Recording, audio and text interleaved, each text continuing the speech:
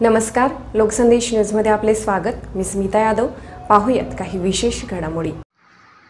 TV समोर home minister लागल्यावर आदेश बांदेकर यांना पाहून आदेश समोर असल्याचा भास करीत गाणे म्हणणाऱ्या नलिनी जोशी या नव्याण्णव वर्षीय आजीची आज आदेश बांदेकर यांनी सांगलीत भेट घेतली. निमित्त होते आजीच्या शंभरीतील पदार्पण कार्यक्रमाचे. यावेळी समक्ष आदेश बांदेकर यांना पाहून आजीही अवाक झाल्या.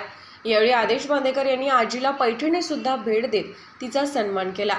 दररोज होम मिनिस्टर कार्यक्रम लागला की साडेपाच वाजता सांगलीतील नलिनी माधव जोशी या नव्याण्णव वर्षीय आजी टीव्ही समोर बसून स्क्रीनवर दिसणाऱ्या आदेश बांदेकर यांना गाणी ऐकवायच्या. आदेश बांदेकर हे आपल्या समोरच आहेत असे समजून जोशी आजी दररोज गाणे म्हणायच्या.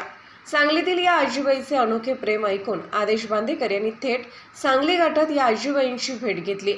साक्षात आदेश बांदेकर यांनी थेट सांगली गाठत या आजीबाईची भेट घेतली. साक्षात आदेश बांदेकर यांना पाहून आजींना आश्चर्य वाटलंच. शिवाय त्यांच्या चेहऱ्यावर एक वेगळंच हास्य आणि समाधान निर्माण झालं. यावेळी आदेश बांदेकर यांच्या गळ्यात पडून आजीबाईंची आजीबाईंनी आपला आनंद व्यक्त केला. दरम्यान आज सांगलीतील नलिनी जोशी यांनी नव्याण्णव वर्ष पूर्ण करत शंभराव्या वर्षात पदार्पण केले. या कार्यक्रमास आदेश बांदेकर यांनी उपस्थिती लावत आजी नलिनी जोशी यांना पैठणी भेट देत मनसोक्त गप्पाही मारल्या. यावेळी बोलताना आदेश बांदेकर यांना त्यांच्या आईची आठवण आली आणि या आठवणीने बांदेकर यांचे डोळे पाणावल्याने संपूर्ण वातावरण गहीवरून गेले.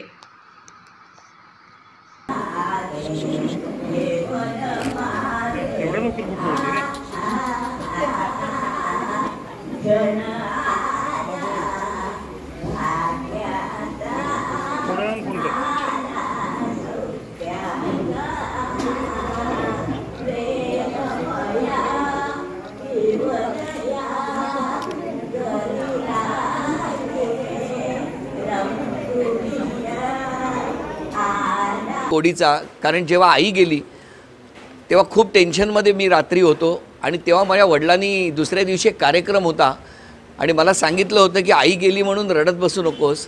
अशा कितीतरी आई आहेत ज्या तुझ्याकडनं आनंदाची अपेक्षा करतायत. उठ आणि बाहेर पड. अशा माऊलींचा आशीर्वाद अधिक बळ देतो आणि ऊर्जा देतो. आजींना सुदृढ दीर्घायुष्य लाभू दे. काय नातं आहे हे मला माहिती नाही पण हे कळण्यापलीकडचं नातं आहे. आणि हे नातं इतकं वेगळं आहे की इतकी आंतरिक ओढ एकमेकाला असणं मला कळत नाही नेमकं काय कसं व्यक्त व्हावं. पण अशा माऊलींना या आजींना सुदृढ दीर्घ दीर्घायुष्य लाभू दे. कारण असं संपूर्ण कुटुंबाचं